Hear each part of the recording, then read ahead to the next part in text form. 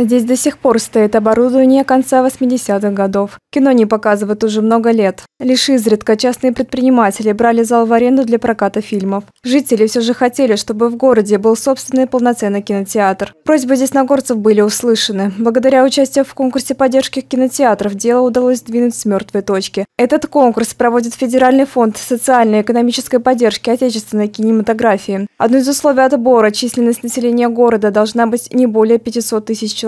Уже в начале мая стало известно, что Десногорский кинозал выиграл грант в размере 5 миллионов рублей. Эти средства пойдут на покупку нового оборудования и кресел. Также фонд АТР АЭС выделил 3 миллиона на строительные работы. Они, кстати, уже идут полным ходом. Уже уложили новое напольное покрытие. Начинается монтаж звукового оборудования. В скором времени начнется замена акустических панелей, установка кинооборудования и крана. Помимо показа фильмов, у кинотеатра будут и другие функции. Кинотеатр будет не только кинотеатром, но еще и будет киноконцертным залом. Дополнительно Смоленская атомная станция выделила э, благотворительную помощь для закупки нового оборудования, которое будет использоваться при проведении концертной деятельности, при проведении выступлений артистов, э, наших кружков и тех коллективов, которые у нас есть.